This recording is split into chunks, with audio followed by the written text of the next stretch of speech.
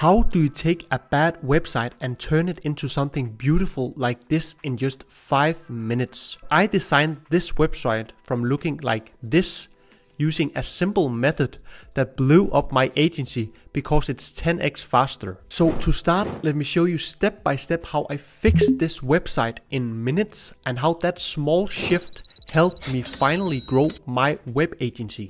Okay, so here we are inside the editor of the old website. And the first thing I'll do is just create a big white gap here between the old design and the new design. Now it's just a blank canvas, but designing from scratch is almost impossible. I need something to build on, something to react to. So I go inside my Elementor templates here and find something with a clean and professional look. And you can also access all these templates in the link below if you also want to 10x your web design process. And don't worry, using a template is not the trick that's coming up. So I think I will choose this one. Let's have a look at the live demo. That's really cool, right? And you can maybe see that it looks a bit like the final result. Let's scroll down and have a look at it. Yeah, that's I love this template. This is probably one of my favorite templates. So what's also really cool is that this is actually also fully responsive. So let's go ahead and import it. I'll just click download here and just download the homepage design like this. Then we go back and import the template. Really easy. Done. So now that's imported and we still have the old design here at the bottom. So what I'll do is start editing the layout. I'll go ahead and copy the old menu design here and go back up to the new design and insert the menu here. Then I find the navigator here so you can see now we have a clear overview of each section because this is a template. So I'll go ahead and move the old header down in the new design here and then just start copying everything from the other header. So for example here I'll just copy the section and paste in the style and the same for the menu and over here.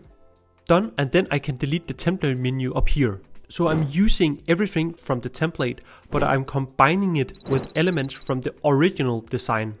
Next up is the hero section. The old site had a very small hero section, so I want to upgrade that by using the full width hero section from this template. So I try inserting the old video here, but honestly this does not look that good. So I actually searched online and found this video. So I just downloaded this and inserted it here so I'm combining the template with elements from the original site to create something new. For example, the background overlay here, that's probably not something I would have thought of if I hadn't used a template. Alright, so the design already looks 10x better, but here's where most designers go wrong, because they start applying the entire template to every other section. What I would like to do instead is go one step further. I want something completely different here that this template does not have.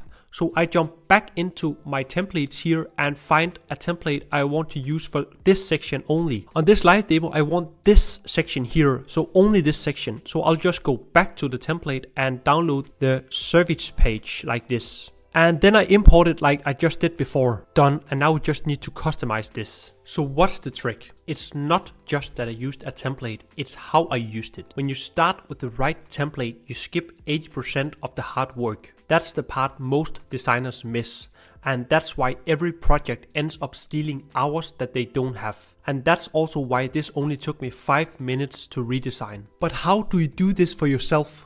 Well, there are a lot of template services out there, but I personally struggled to find ones with that next level clean touch. So I started creating my own, and now you can use them too if you want to save time. I'll leave a link in the description below. So now you have seen how easy it is to 10x your web design workflow using the right method. But what if you want to build something for free? In the next video I'll show you exactly how I created one of my most advanced designs step by step. You learn how to build the full project completely free and, and I'll even include all the material